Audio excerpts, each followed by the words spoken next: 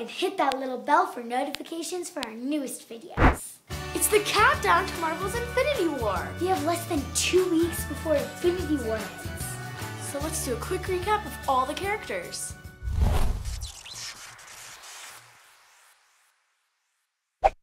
Peter Quill, aka Star-Lord. Peter was abducted by space pirates. Uh, you mean the Ravagers? Yondu was kind of his adopted father. He wasn't the nicest guy. When I picked you up on Terra, these boys of mine wanted to eat you. Yeah? They ain't never tasted any Terran before.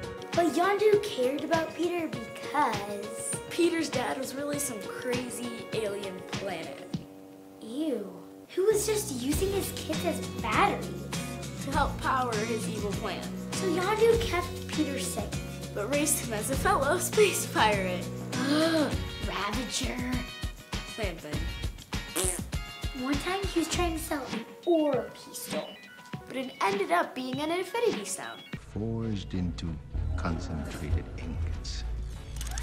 Infinity Stone. The Power Stone.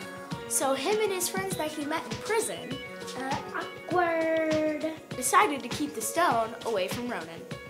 And formed Guardians of the Galaxy.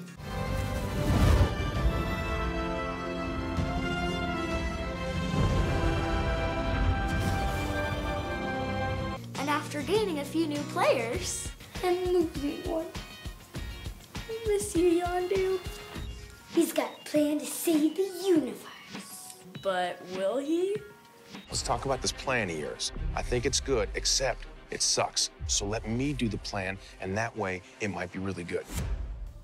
And if you liked our quick recap, please like and subscribe. And watch more videos down here. Bye, Super Friends. If you liked our quick recap, please like and subscribe.